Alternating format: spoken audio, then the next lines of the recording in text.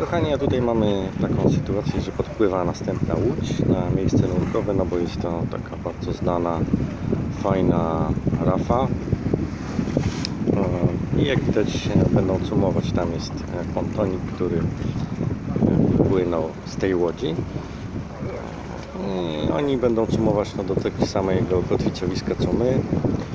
No i oczywiście będą nurkować. Im więcej łodzi, tym no, oczywiście gorzej, no bo to mnoży nurków w wodzie, no ale w takich miejscach jest to nieuniknione i nic na to nie można poradzić. No ale też świadczy o tym, że jesteśmy w fajnym miejscu i warto tutaj sobie przypłynąć, no bo skoro wszyscy przypływają, to znaczy, że jest coś do obejrzenia. Woda jest przejrzysta, piasek ten koralowy jest ciężki, szybko opada, więc no nie ma mowy o zamuleniu.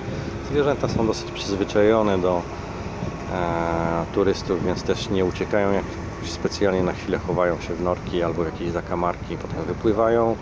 No jedynie większe zwierzęta jak są, to, to one mogą uciec i już się jak gdyby nie pojawiać, natomiast wiele z nich albo krąży po takich półstałych trasach, więc e, też przepływają i albo są, albo ich nie ma. Zwykle nie ma. E, tutaj mówi się o trzech typach zwierząt, e, e, tych większych. E, To są tak zwane was before'y, czyli były wcześniej, maybesy i sometimesy, czyli czasami i może. Zwykle mm, no ich po prostu nie ma, jeżeli ktoś mówi, że będzie tu jakaś szansa na rekina, no to jest zwykle niewielka. Natomiast no, czasami rzeczywiście się trafiają i są takie momenty, że można zobaczyć większe zwierzęta. To safari nie jest nastawione na duże zwierzęta, czyli e, na większe rekiny, na manty i tego typu rzeczy, na, na rekiny wielorybie. Ono jest nastawione na małe ryby. E, ja mówię, że to są rafy akwariowe. No, czyli jak byliście w jakimś oceanarium, gdzie jest kawałeczek rafy i pełno kolorowych małych rybek, no to jest coś w tym stylu. Chociaż wczoraj widzieliśmy ładne tuńczyki. No nie takie półtonowe, ale takie po kilkadziesiąt kilo. Niestety, jak mówiłem, kamerka się zawiesiła i nie mamy ich, ale być może jeszcze je spotkamy, więc może się uda to nagrać.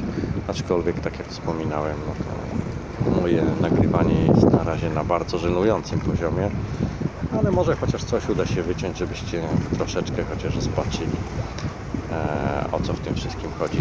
Rozmawiałem z organizatorem tego safari, zgodził się udzielić takiego krótkiego wywiadziku, także e, przybliży działalność firmy, która to organizuje, a firmą to jest e, Nautica, która od wielu lat zajmuje się prowadzeniem takich safari i robią to naprawdę super, są już mistrzami świata, zrobili setki takich safari, także mają naprawdę duże doświadczenie e, w tym, jak to zorganizować przede wszystkim pod kątem bezpieczeństwa, no, a drugie, żeby ludzie byli zadowoleni. Także jest to naprawdę ważne, no ale to Darek sam pewnie parę słów powie. Także łodzie wyglądają tego typu. Nasza, jak mówiłem, ma 35 metrów.